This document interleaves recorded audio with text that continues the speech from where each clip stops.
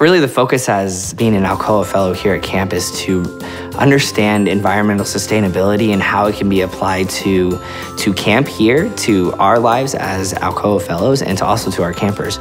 So we each break up into teams and we do these cool projects that we integrate throughout camp and then also try and educate our campers about how we're doing these sustainability projects.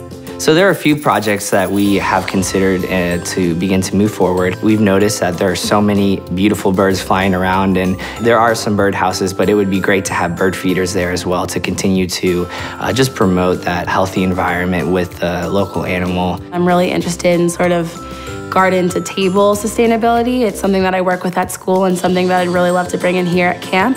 So we've got these amazing vegetable gardens and we're gonna help kind of make them flourish, help do a lot of things that are local to Ohio, increase what's growing there, and then we want to add in a, a, camper education component where we help maybe make a recipe book for some of those campers about ways that they can use the things that we grow here, how they could grow them at home, and then try and cook them at home. So it's going to encourage them to be eating healthy, but also to be doing this kind of gardening activity, which could be really fun. We've put out a bunch of signs to let people know more about the Adirondack Park, such as putting signs on trees to tell, identify the different trees, and then other facts about the Adirondack Park, and also facts about Double H um, involving its role in the environment. Using recycled materials that we had available on campsite, I was able to, along with help from a bunch of other fellows, of course, able to help to create and design a worm farm in order to not only have worms available for fishing so that they don't need to buy worms anymore, but also the worm farm kind of is a triple threat. You get to keep the worms that you're reproducing, you get to reuse their castings for a fertilizer, as well as composting um, general food waste like fruit or coffee grounds. We try to teach them how to uh, protect the nature. We used different games to teach this for these children. For example, they were collecting uh, some kind of oil spoilage from the lake.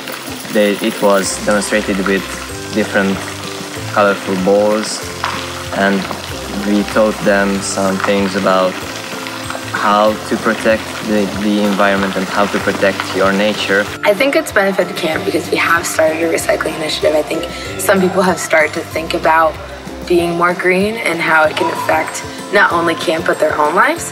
And I think that having that Alcoa presence um, really helps people kind of think more about being sustainable um, and definitely get them to be a little bit greener with their ways, even if it hasn't been fully established yet and we're still it's gotten the ball rolling and I think that more great things are to come. I feel so lucky to have been an Alcoa Fellow because it really brought my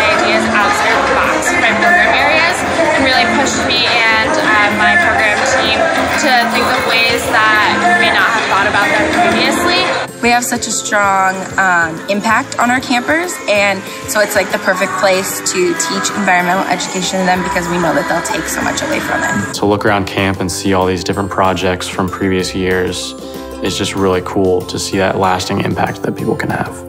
It's great if we can keep camp an eco-friendly place, but with all our campers here, that is so many children that can learn about this and can take that home with them so they can go home and maybe start composting with their family and then they can start a garden of some sort and really that alcoa fellowship idea is not just us it's more us helping the campers see what we can do and how we can help the environment in that way. Thank you so much, Alcoa Foundation. Thank you, Alcoa Foundation.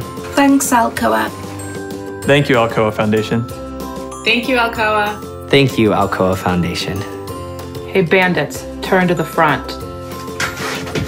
Thank you, Alcoa. For supporting our staff this summer. You guys rock. I love Alcoa. I love Alcoa. Thank you, Alcoa Foundation.